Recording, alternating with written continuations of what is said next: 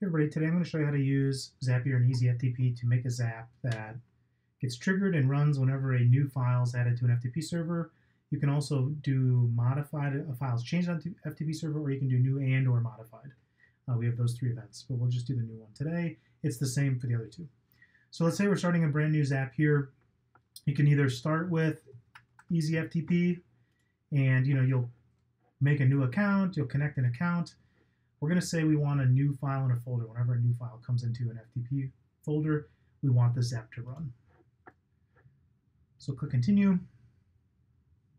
If you don't have an account, it'll ask you to create an EasyFTP account here. Um, when you do that, you'll, you'll go over to EasyFTP and you will enter in all your FTP info for the connection. I'm going to do that really quick. I'll pause the video. Cool. Once you put in that info, you'll get to this page. This is your connection page, you'll see it'll probably run a test automatically for you to make sure your credentials and everything are right. If you see an error here, you might have to edit and change those or make sure that the um, FTP credentials work. I would use like FileZilla or something or CyberDuck to make sure you can connect with those credentials if it's not working.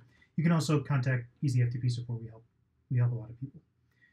So now we want to say what folder do we want to watch for the new files or the modified files here. We, we call those watched folders. So let's click here. We're going to make a new watched folder.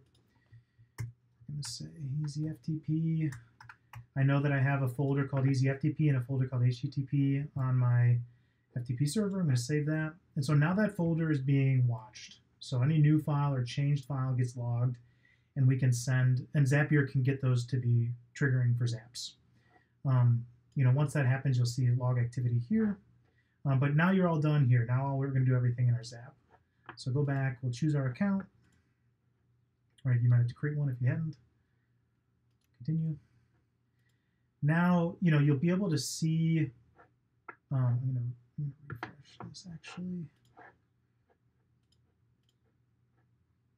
If you have multiple connections, you'll be able to see things, but see how this is the connection and this is the folder. We'll choose that. This is the folder I want to watch for new files and to have this app be triggered.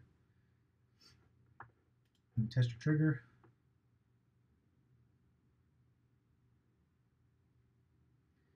Now, if you have no files in your folder, you might want to put one in to get a sample file here.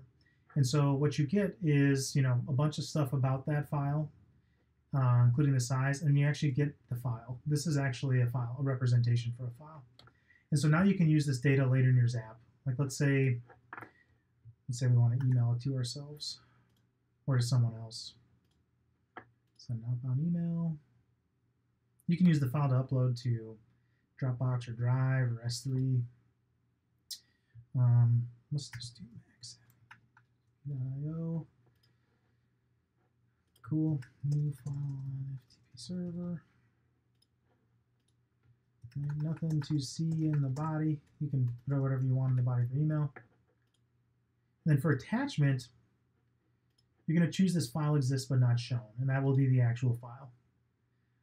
Uh, you can put other stuff in here like file size or something like that, but this app will then, you know, send me an email with the file attached every time there's a new file in the folder. That's it. Pretty easy. Uh, you can do anything you want with these files. Uh, our different plan levels allow different size files um, and different amounts of trigger. Like let's say you upload 10,000 files onto an FTP server.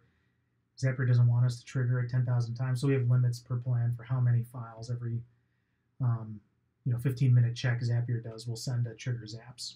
So if you need any help with any plan choices or anything, uh, contact Easy, Easy FTP support, and uh, we're happy to help you get set up too.